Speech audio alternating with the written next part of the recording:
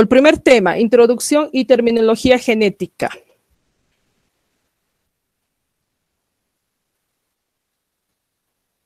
A ver, ¿qué pasa aquí? Muy bien. Generalidades.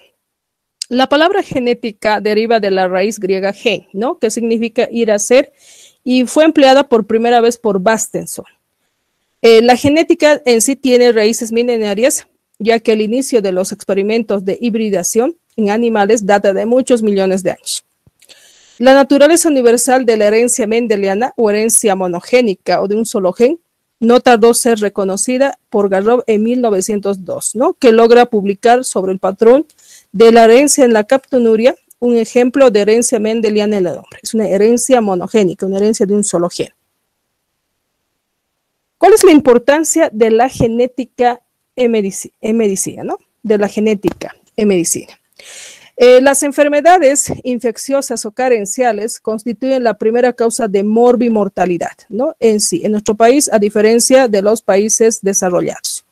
A medida de que en los países en vía de desarrollo mejoren las condiciones en sí, puede ser que estas enfermedades genéticas denominadas como em, pueden dar en sí referencia a que también hacia la larga estas enfermedades de origen constitucional también en sí pueden tener un grado de morbimortalidad, ¿no? Entonces, en las investigaciones en las últimas tres décadas se han calculado que en los hospitales de países desarrollados muestran que una tercera parte de los niños están ahí por trastornos genéticos. ¿Qué es la genética médica? La genética médica es el estudio de los fenómenos interhumanos que sobrepasan el estudio solo del individuo, implicando a sus ancestros, parientes colaterales, descendientes, y tratando de explicar los mecanismos de origen y transmisión de las enfermedades hereditarias. Dice, ¿no? Implica a sus ascendientes y descendientes. Ascendientes. ¿Quiénes serían los ascendientes? Grupo. ¿Quién serían los descendientes? Ascendientes serían los antepasados y los descendientes serían como los nietos que se va a tener, ¿o no? Ah, entonces los ascendientes serían sus padres, sus abuelos, tatarabuelos, bisabuelos, ¿no? Los descendientes ya serían en sí sus hijos, sus nietos. Muy bien, parientes colaterales, dice, ¿no? Los tíos están ahí en sí, sobrinos colaterales. Entonces, la genética médica estudia los fenómenos interhumanos que sobrepasan el estudio solo del individuo, implicando a sus ancestros, parientes colaterales, descendientes y tratando de explicar los mecanismos de origen y transmisión de las enfermedades hereditarias. Clasificación de las enfermedades genéticas. Se clasifican en sí de acuerdo a la alteración de un único gen, alteraciones cromosómicas, alteraciones multifactoriales alteraciones de un único gen. Este tipo de defectos es causado por mutaciones de los genes que pueden estar presentes en un solo cromosoma del par, siendo el otro normal, o ambos cromosomas del par. Su frecuencia en sí de este tipo de alteración es rara y se presenta de 1 en 2000 perdón, en la población.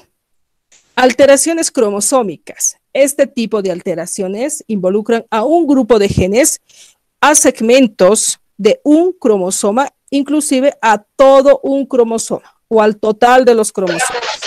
Su frecuencia, les voy a pedir por favor que apaguen sus micrófonos, hay interferencia.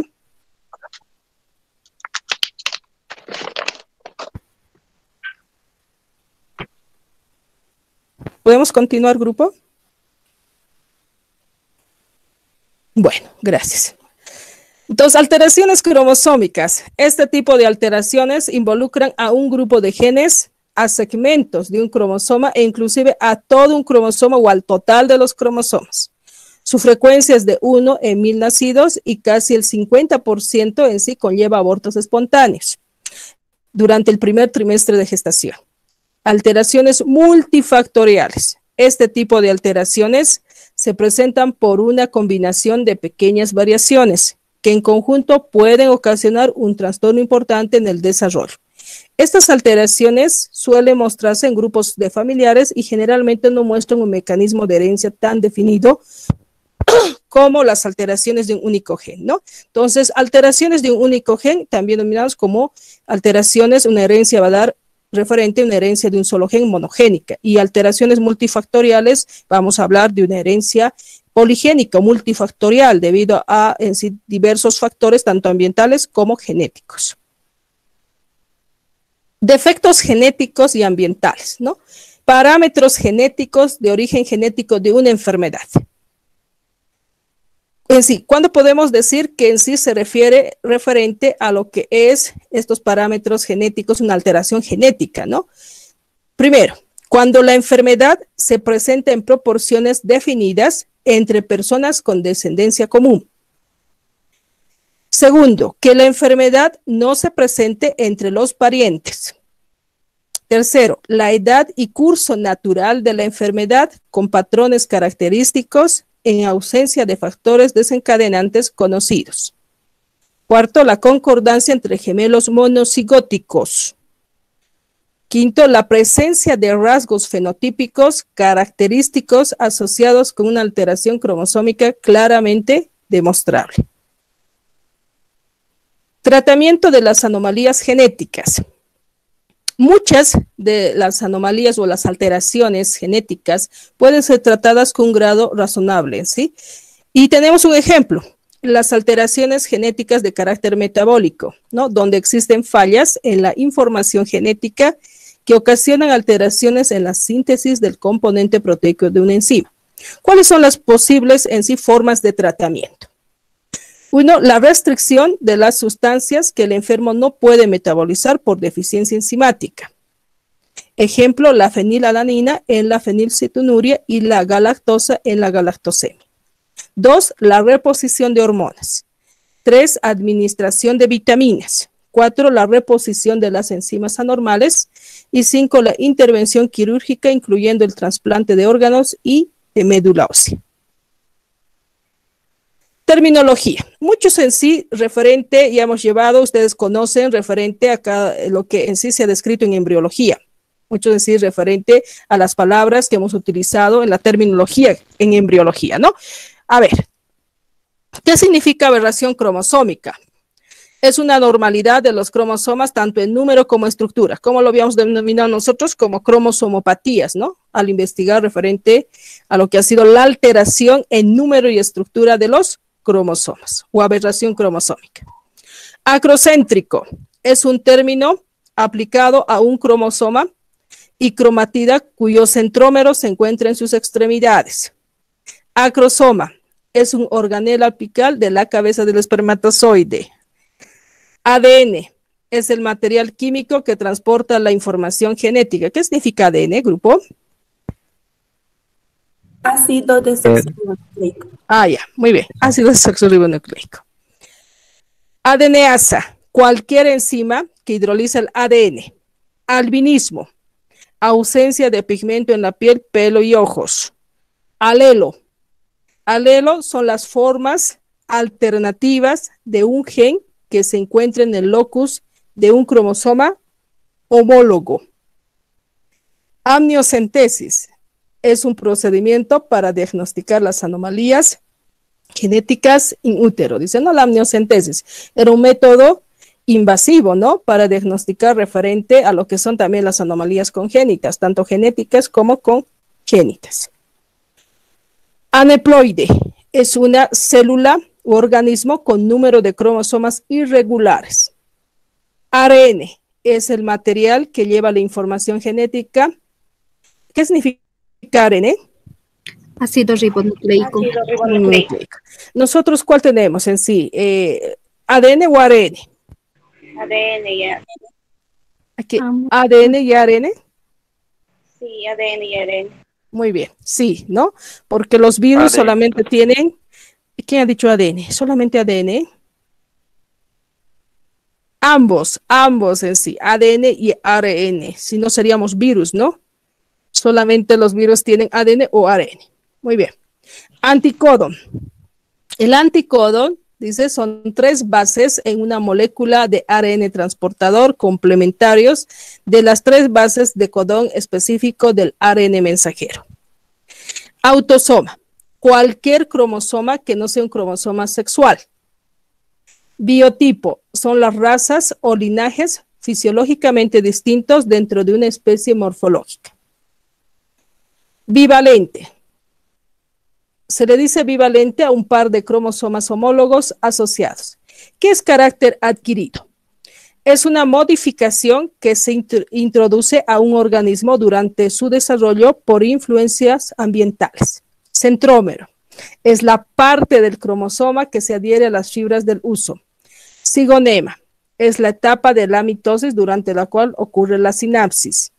Cigoto es la célula producida por la unión de células sexuales maduras. Citrón es la unidad funcional del ADN.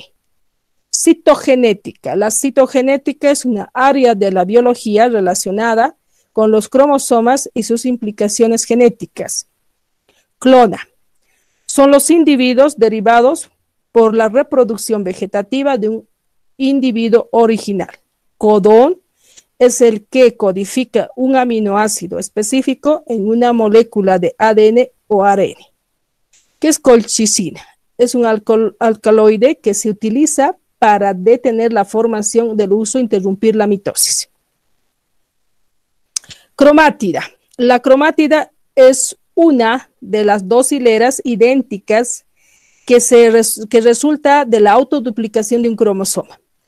Cromatina es una sustancia nuclear que absorbe funciones básicas y que se incorpora a los cromosomas. Cromocentro es un cuerpo producido por la fusión de las heterocromatinas, autosomas y del cromosoma. ¿no? Cromonema es un filamento que forma una estructura axial dentro de un cromosoma. Cromosoma son cuerpos nucleoproteicos. Cromosomas acéntricos. ¿Alguien está con su micrófono? Interferencia, escucho. Les voy a pedir, por favor, que apaguen sus micrófonos. Muy bien. Cromosomas acéntricos, los escucho.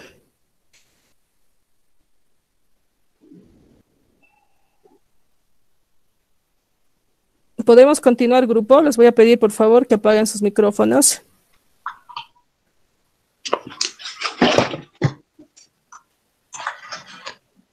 Su compañera Vanessa está por ahí. ¿Quién está con su micrófono? Era Heli. está con su micrófono. Mm. Hay interferencia, por eso se escucha en sí. A ver, su compañera, apague su micrófono.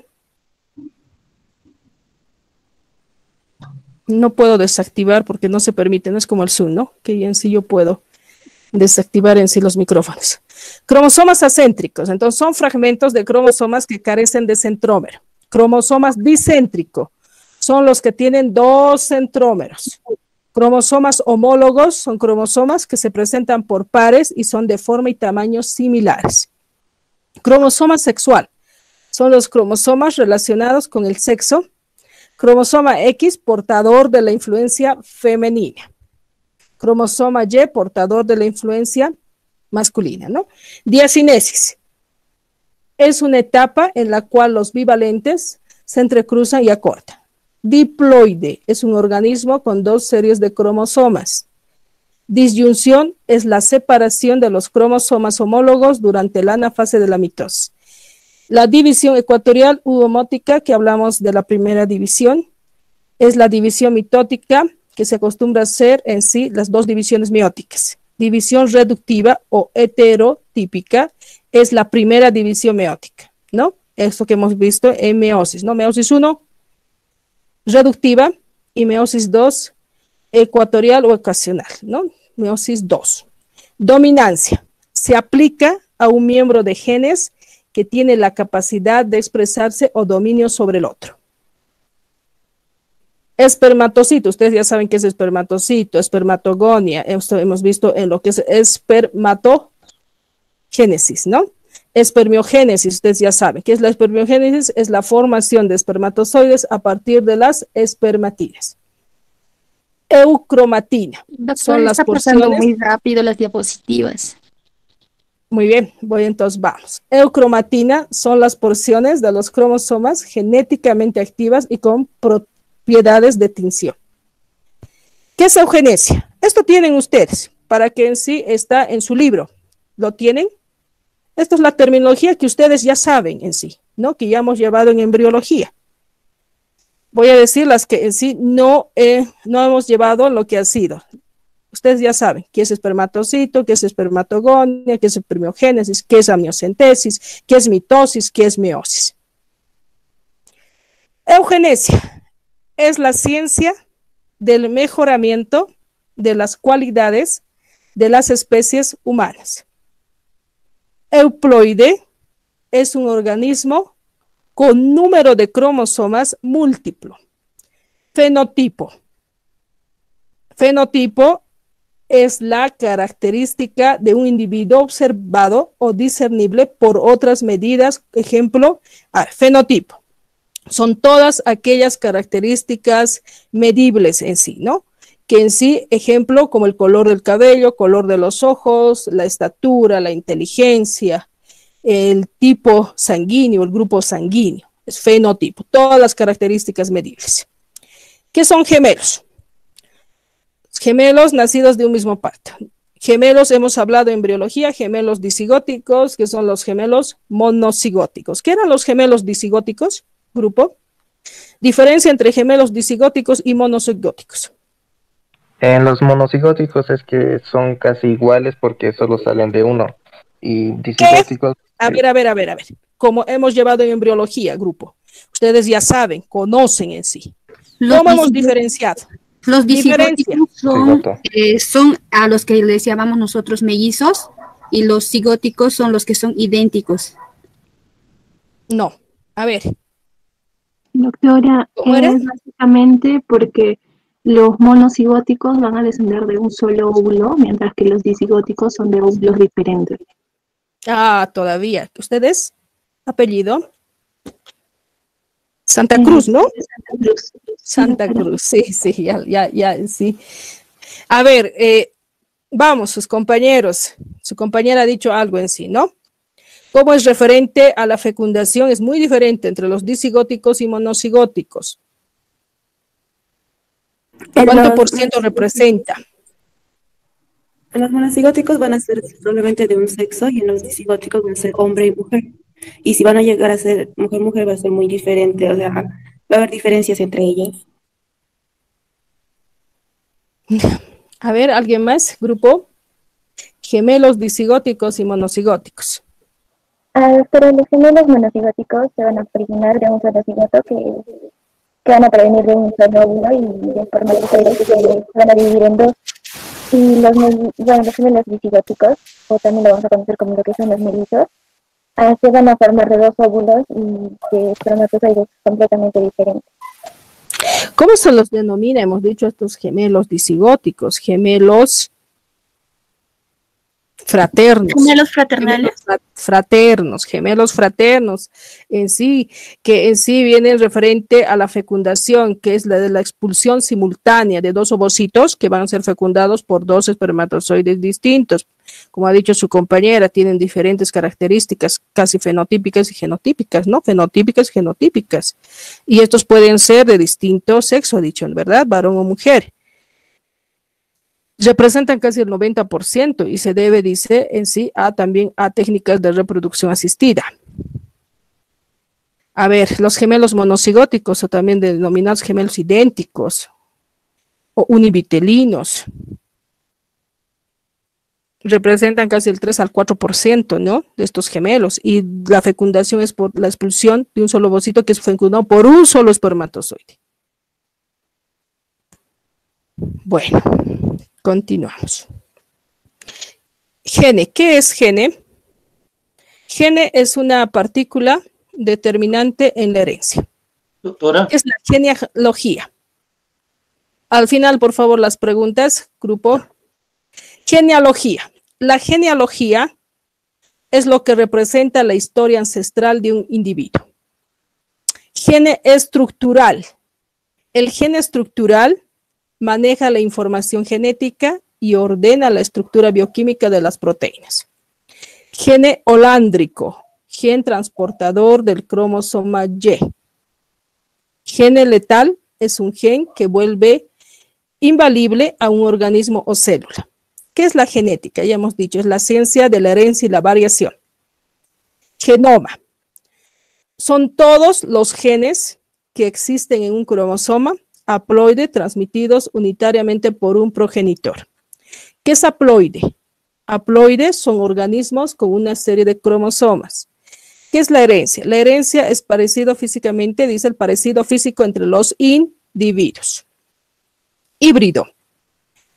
Híbrido son descendientes de progenitores homocigóticos que difieren de uno o más genes. Mutación. La mutación es el cambio permanente del material genético, no disyunción. Es la separación de los cromosomas homólogos en la meiosis y da más cromosomas a la célula hija que a otra. ¿Qué es nucleótido? Es una unidad de la molécula de ADN que contiene un grupo fosfato, un azúcar y una base orgánica. Ovogonia. ¿Qué es una ovogonia? Es una célula germinal organizador nuclear. ¿Qué es un organizador nuclear? Es un segmento cromosómico que controla la síntesis de ARN ribosómico. Óvulo. Ya saben en sí ustedes qué es óvulo, ¿no? Es una célula germinal producida por un organismo femenino. Poliploide. Es un organismo con más de dos series de cromosomas. ¿Qué quimera es un individuo constituido por células derivadas de diferentes cigotos. Ribosoma es una estructura del citoplasma que sintetiza proteínas. Sexo heterogamético es el productor de gametos diferentes en los cromosomas sexuales. X y Y. Sinapsis es el apareamiento de cromosomas homólogos durante la profase mitótica.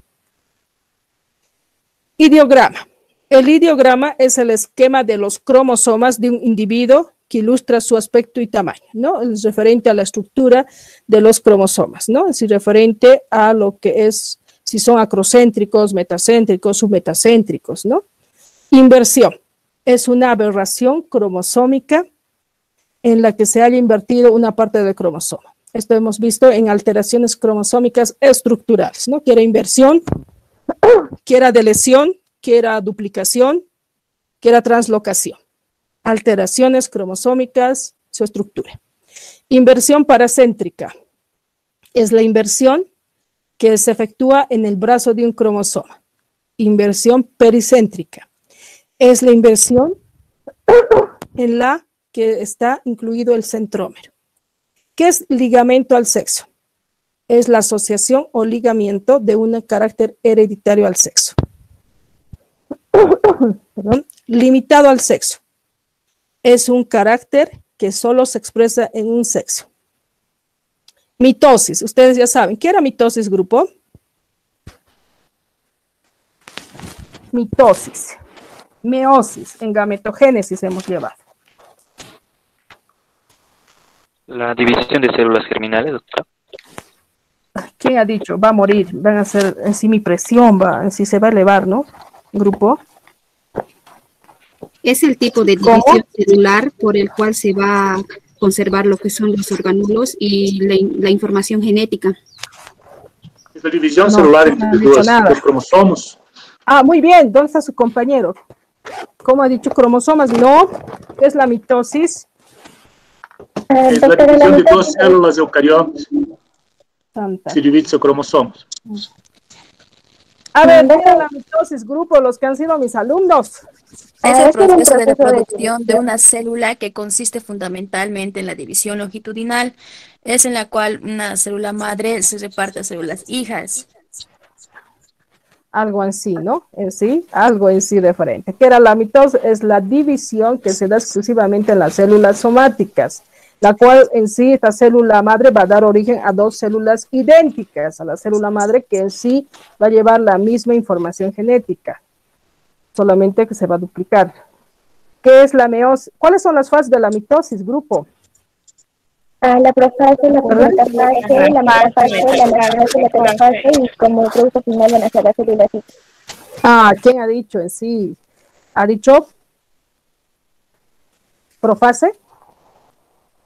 metafase. Profase, metafase, anafase y telofase. Y como último producto va a ser las células hijas. Las células hijas, ¿no?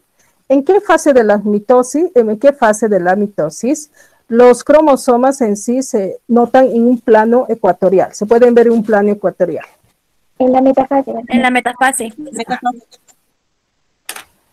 ¿Qué es la meiosis? Ustedes saben, ¿qué es la meiosis? Ahora sí, lo que ha dicho su compañero. Ese proceso de división celular. Es la división de las células germinales. Ah, muy bien. Ha dicho germinales, ojo, germinales, ha dicho, no ha dicho de celular nomás, no ha dicho es la meiosis, es la división celular que se da en sí en las células germinales. ¿Para qué? Para reducir la cantidad del número de cromosomas a un número haploide de 23. Meiosis 1 y meiosis 2. Meiosis 1 o en sí denominada meiosis 1 reductiva y meiosis 2 ecuacional. ¿Qué es locus? Locus es la localización exacta de un gen en un cromosoma. ¿Qué es monosómico? Es un organismo diploide que carece de un cromosoma monosómico. ¿Cuál es la única en sí? ¿Cuál es el único síndrome compatible con la vida que es en sí referente? Es una monosomía. ¿Se acuerdan? En alteraciones cromos en sí. Ciclopía. Va a hacer subir usted mi presión. ¿Qué ha dicho? Eh, ¿Ciclopía, doctora? No, eso es una, es una anomalía congénita. Anomalía congénita es esa. El síndrome de Turner. Muy bien. ¿Quién ha dicho el síndrome de Turner? Yo. ¿Santa Cruz? Sí. Santa Cruz. Ah, mm, Cruz. Santa Cruz. Cruz. Síndrome de Turner es la única monosomía compatible con la vida. Ya. Muy bien. Vamos a seguir avanzando. ¿Alguna pregunta hasta acá, grupo? Tu compañero creo que... La definición sobre gemelos, ah, salvo este, equivocado, a mí me parece que estaba escrito que es algo de solo uno parto, pero se caracteriza gemelos iguales por dos partos igual, ¿no? Gemelos, en, sí los gemelos se diferencian en pues, dos tipos de gemelos. ¿No? Dos tipos de gemelos, gemelos disigóticos y gemelos monocigóticos, o gemelos eh, disigóticos o en sí denominados como gemelos fraternos o mellizos, y los gemelos en sí monocigóticos o gemelos idénticos, ¿no? Son dos tipos de gemelos. No sé si han Pero la definición de gemelos que estaba en, en tu diapositiva estaba como en un solo parto pero se puede ser gemelo y tener dos partos, ¿no? Un nace ahorita y otro como dos, tres meses después puede ser, ¿no? Claro que sí, ah, claro que sí. Lo que yo quería que vean ustedes es la diferencia entre los gemelos que hemos llevado, ¿no? Ah, gemelos disigóticos y gemelos monocigóticos. Monocigóticos. Ya, doctora, gracias. Muy bien. No se olviden, va a entrar en su examen. Muy bien. Interrumpa. Este, a la pregunta de mi compañero, eh, les creo haber escuchado que le preguntó que puede haber gemelos que nacen, digamos, hoy día 15 de marzo y otro bebé que pueda nacer el 15 de julio, de junio, de agosto. Creo que eso no, no puede suceder. No, no, no, Él ha dicho en sí eh, que primero puede nacer un gemelo y después el segundo. Eso se ha referido en el mismo parto, sí. Eso es lo, que le entendí. Con diferencia de tiempo sería, ¿no? Diferencia de tiempo, nada más. Sí, así es. así es, ¿no? Es con diferencia de tiempo. Con la diferencia de tiempo, doctora. Con diferencia de tiempo. Hay otros muchos que en sí tenemos que ver referente y hay otros que llevan a cesárea, ¿no? Otros en sí referente a lo que es em, de acuerdo en sí a la posición también de los gemelos, ¿no? También. Muy bien. ¿Puedo dejar Según usted, doctora, cuál es bueno, la cesárea o un parto natural? Depende en sí, ¿no? Referente a los gemelos. Siempre se considera dentro de lo que es en sí un embarazo gemelar como en sí alto riesgo obstétrico, ¿no? Siempre está considerado como alto riesgo obstétrico, lo que es el embarazo gemelar.